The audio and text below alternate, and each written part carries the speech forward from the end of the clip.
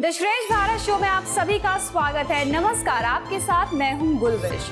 इस शो में आप रोज देखते हैं देश और दुनिया की ताज़ा तरीन खबरें।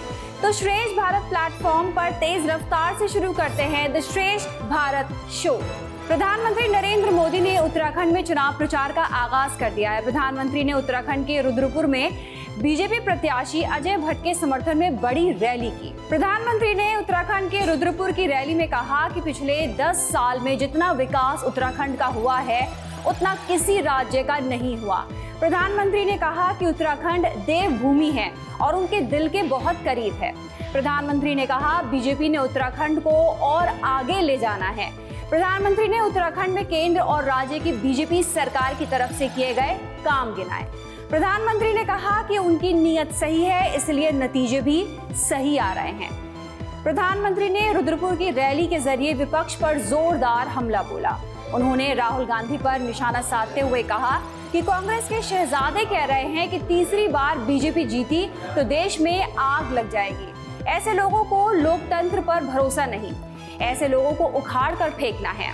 कांग्रेस के शाही परिवार के शाहजादे ने शाहजादे ने ऐलान किया है कि अगर देश ने तीसरी बार बीजेपी सरकार को चुनी, आग लग जाएगी। साठ साल तक देश पर राज करने वाले दस साल सत्ता से बाहर क्या रह गए? अब देश में आग लगाने की बात कर रहे हैं। क्या ये आग लगाने की बात आपको मंजूर है? क्या इस देश को आग लगाने देंगे? क्या आग लगाने की ये भाषा उचित है? क्या ये आग लगाने वाली भाषा लोकतंत्र की भाषा है? ऐसे लोगों को सजा करोगे? पक्की सजा करोगे? चुन चुन करके साफ़ कर दो। इस बार इनको मैदान में मत रहने दो भाई। दिल्ली के सीएम अरविंद केजरीवाल के जेल जाने के बाद मुख्यमंत्री पद को लेकर हलचलें तेज होती जा रही हैं। आज शाम दिल्ली में आम आदमी पार्टी के सभी विधायक सुनीता केजरीवाल से मिलने वाले हैं। क्या आम आदमी पार्टी दिल्ली के मुख्यमंत्री की कुर्सी सुनीता केजरीवाल को सौंपने जा रही है? इसको लेकर कई दिनों से कयास लगाए जा रहे हैं। इसको लेकर आज बड़ी खबर सामने आ सकती है। दिल्ली में आम आदमी पार्टी के सभी विधायक सुनीता केजरीवाल से मिलने वाले हैं। सूत्र बता रहे हैं कि इसमें दिल्ली की मुख्यमंत्री को लेकर कोई बड़ा फैसला हो सकता है। ऐसा इसलिए क्योंकि अरविंद केजरीवाल के जेल जाने के बाद जेल से सरकार बनाने की संभावना खत्म होती जा रही है। जेल से सरकार चलाने की जिद पर अड़ने के कारण दिल्ली में राष्ट्रपति शासन लगने की आशंका बनी हुई है। इसको लेकर कयास है कि आम आदमी पार्टी सुनीता केजरीवाल को मुख्यमंत्री पद की कमान सौंप सकती है। दिल्ली के मंत्री आतिशी ने प्रेस कॉन्फ्रेंस कर बीजेपी पर बड़ा आरोप लगा दिया है। आतिशी के मुताबिक उनके एक बेहद करीबी के माध्यम से उन्हें बीजेपी ज्वाइन करने के लिए डराया, धमकाया जा रहा है। आतिशी के मुताबिक उनसे कहा जा रहा है कि आप अपना पॉलिटिकल करियर बचा लीजिए या फिर जेल जाने के लिए तैयार रहिए। आतिश ने प्रेस कॉन्फ्रेंस में अपनी पार्टी के चार नेताओं के नाम लिए उन्होंने कहा। उनके अलावा सौरभ भारद्वाज, दुर्गेश पाठक, राघव चड्ढा को गिरफ़्तार करने की तैयारी हो रही है। कि आने वाले दो महीने में लोकसभा चुनाव से पहले वो आम आदमी पार्टी के चार और नेताओं को गिरफ़्तार करने वाले हैं। वो मुझे गिरफ़्तार करेंगे वो सौरभ भारद्वाज को गिरफ़्तार करेंगे, वो दुर्गेश पाठक को गिरफ़्तार करेंगे और वो राघव चड्ढा को गिरफ़्तार करेंगे। भारतीय जनता पार्टी ने ये उम्मीद करी थी कि अरविंद केजरीवाल जी की गिरफ्तारी के बाद आम आदमी पार्टी बिखर जाएगी, आम आदमी पार्टी टूट जाएगी, आम आदमी पार्टी का मोराल डाउन हो जाएगा। क्योंकि आम आदमी पार्टी का अब सारी सीनियर लीडरशिप जेल में है, हिरासत में है। आतिशी का ये बयान ऐसे समय में आया है जब ईडी ने कल कोर्ट में उनका और सौरभ भारद्वाज का नाम लिया था।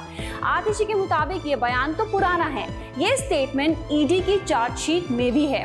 कोर्ट में इसे उठाने का क्या मकसद है? आतिशी ने बीजेपी पर बड़े आरोप लगाए, लेकिन उसके समर्थन में कोई रिकॉर्डिंग या सबूत सामने नहीं रखे। यूपी के मेरठ में सियासी सरगर्मी तेज है। बीजेपी के उम्मीदवार अरुण गोविल ने नामांकन दाखिल कर दिया है। वहीं समाजवादी पार्टी ने अपना उम्मीदवार बदल दिया। समाजवादी पार्टी ने वकील भाबू प्रताप सिंह का टिकट काटकर मौजूदा विधायक अतुल प्रधान को टिकट दे दिया है। रामानंद सागर की रामायण में राम का किरदार निभाने वाले अरुण गोविल अब चुनावी महाभारत में उतर गए हैं। उन्होंने आज मेरठ में बीजेपी उम्मीदवार के तौर पर पर्चा भर दिया है। अरुण गोविल का जन्म मेरठ में ही हुआ था। उन्होंने मेरठ की चौधरी चरण सिंह यूनिवर्सिटी से पढ़ाई की। वहीं मेरठ हापुड़ लोकसभा सीट से समाजवादी पार्टी ने सरधना विधायक अतुल प्रधान को टिकट दिया है। इससे पहले 15 मार्च को सुप्रीम कोर्ट के वकील भानु प्रताप सिंह को प्रत्याशी बनाया था। अतुल प्रधान पहली बार सरधना सीट पर 2012 में समाजवादी पार्टी के सिंबल पर विधानसभा का चुनाव लड़े, लेकिन बीजेपी के संगीत सोम से चुनाव हार गए थे। 2022 विधानसभा चुनाव में सरधना सीट पर उन्होंने जीत दर्ज की है। योग गुरु रामदेव और पतंजलि आयुर्वेद लिमिटेड के एमडी आचार्य बालकृष्ण ने सुप्रीम कोर्ट में आज अपनी कंपनी के भ्रामक का विज्ञापनों को लेकर फिर बिना शर्त माफ़ी मांगी है। रामदेव और बालकृष्ण दोनों सुप्रीम कोर्ट के सामने पेश हुए। सुप्रीम कोर्ट ने पतंजलि ग्रुप के विज्ञापनों को लेकर रामदेव और बालकृष्ण से नाराज़गी ज़ाहिर की।